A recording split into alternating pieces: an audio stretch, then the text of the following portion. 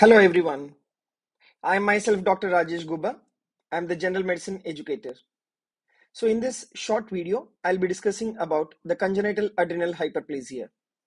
So the very important point you need to understand that congenital adrenal hyperplasia is a clinical scenario where there is deficiency of the enzymes which are required for the glucocorticoid synthesis. And the deficiency of these enzymes are mainly due to gene mutation.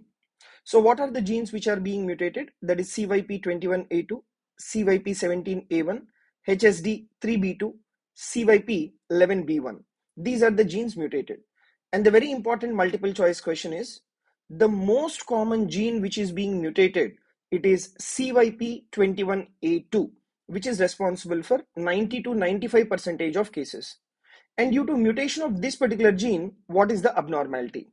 So because of this gene mutation, the enzyme which is being deficient is 21 alpha hydroxylase deficiency, due to which there will be glucocorticoid deficiency, mineralocorticoid deficiency, and adrenal androgen excess.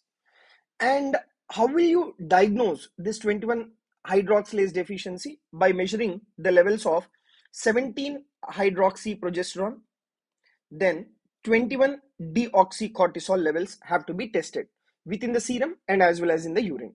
So what is the drug of choice? Because there is glucocorticoid deficiency, drug of choice will be hydrocortisone. And for achieving the fertility, dexamethasone has to be given.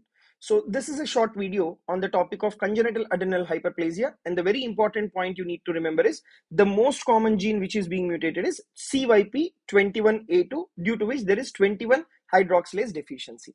Thank you very much.